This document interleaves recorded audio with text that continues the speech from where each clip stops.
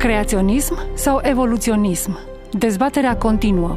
Pe această temă sunteți invitați la o conferință organizată la Cluj-Napoca, vineri 23 octombrie de la ora 18, care va continua sâmbătă 24 octombrie de la ora 10 la Casa de Cultură a Studenților. Vorbitori, Dr. Terry Mortensen, cercetător în cadrul Muzeului Creației din Hebron, Kentucky, și Dr. Andy McIntosh, profesor emerit la Leeds University din Anglia. Aceștia fac parte din organizația Answers in Genesis din Statele Unite ale Americii. Aceiași vorbitori vor susține și la Iași conferința Este știința împotriva creaționismului?